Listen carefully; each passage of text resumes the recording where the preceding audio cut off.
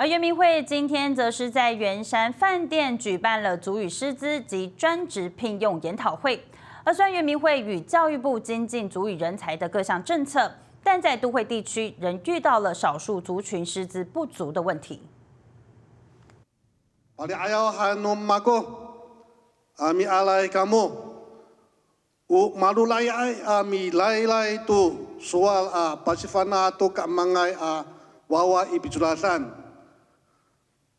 未来很感冒。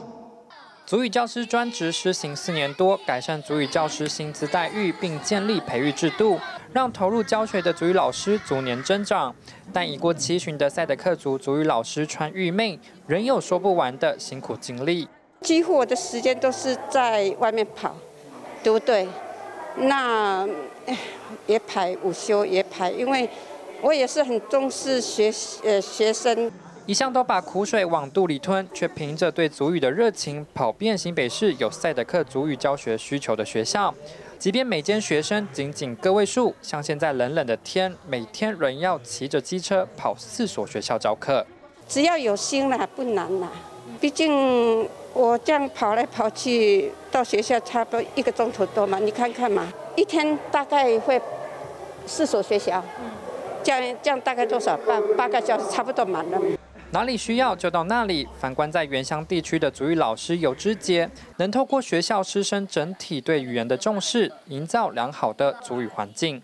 老师会，他会，他会激起一个一个反应，是说，在在没有在没有老老师在没有闹老师在的时候，我们该怎么办？他们会自己自己站起来，我要做这个比赛，我要做这个这个任何一个事件上的时候，他他们都会。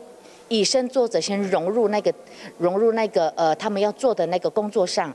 原乡都会两样情，就是因为原住民族人口逐渐向都市扩张，有了足语学习需求，但住的分散，足语老师基于交通及时数无法授课，也凸显师资不足的问题。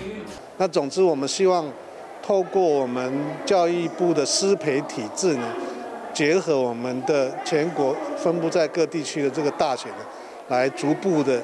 啊，给我们的主语老师在做第三代的这个主语老师的这个培育。号称主语教师三点零的制度，透过各项主语条件来扩充语言人才。但面对原住民族人口转型的情形，要如何将教学资源分配均匀，又或是在都市学校中营造主语推动氛围，都是这个主语教师三点零制度要解决的问题。